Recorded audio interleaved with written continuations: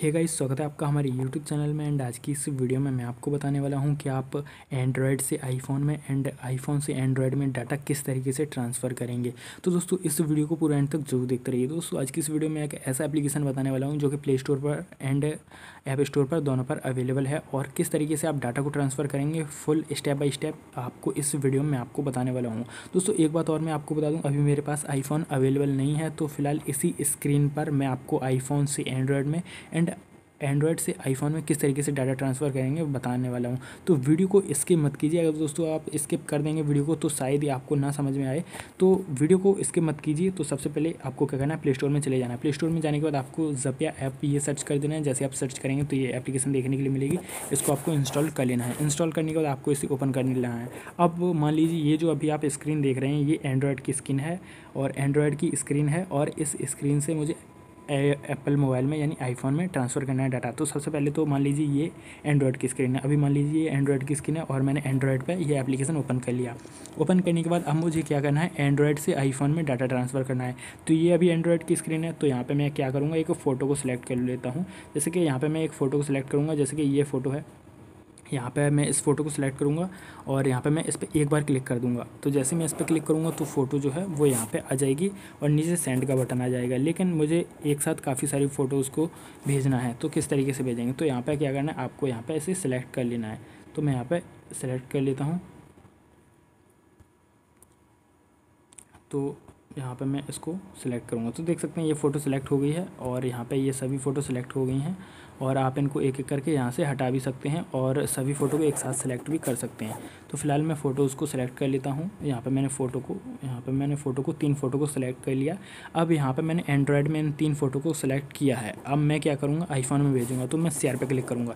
Share पर click करूँगा तो वैसे ही मेरे सामने क्यू कोड आ जाएगा। अब ये क्यूआर कोड यहाँ तक हम पहुँच चुके हैं एंड्रॉयड में। अब मैं इस एप्लीकेशन को कट कर देता हूँ। अब मान लीजिए ये स्क्रीन आईफोन की है। आईफोन में मैंने इस एप्लीकेशन को ओपन कर लिया। एप्लीकेशन को ओपन करने के बाद यहाँ पे मैं क्या करूँगा? मैं इसको स्किप कर देता हूँ। स्किप करने के बाद आईफोन में मैं अभी ये स्क्रीन जो है वो आप देख रहे हैं अभी आईफोन की, ठीक है? तो यहाँ पे ये ये जो आइकन है आपको इस पर क्लिक कर देना है। जैसे आप इस पर क्लिक करेंगे तो आपको ये ऊपर स्कैनर देखने के लिए मिलेगा। इस पर आपको क्लिक कर देना है।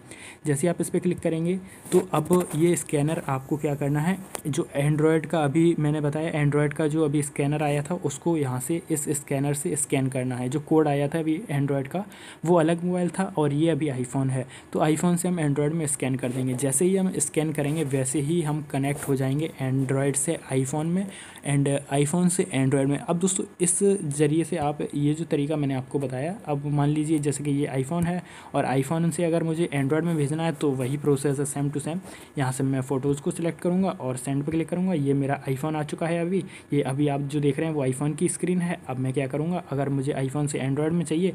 अब ये आईफोन की स्क्रीन में ये कोड आ गया है, ठीक है? अब अब जाएँगे एंड्रॉयड में। एंड्रॉयड में आने के बाद यहाँ पे आपको क्या करना है?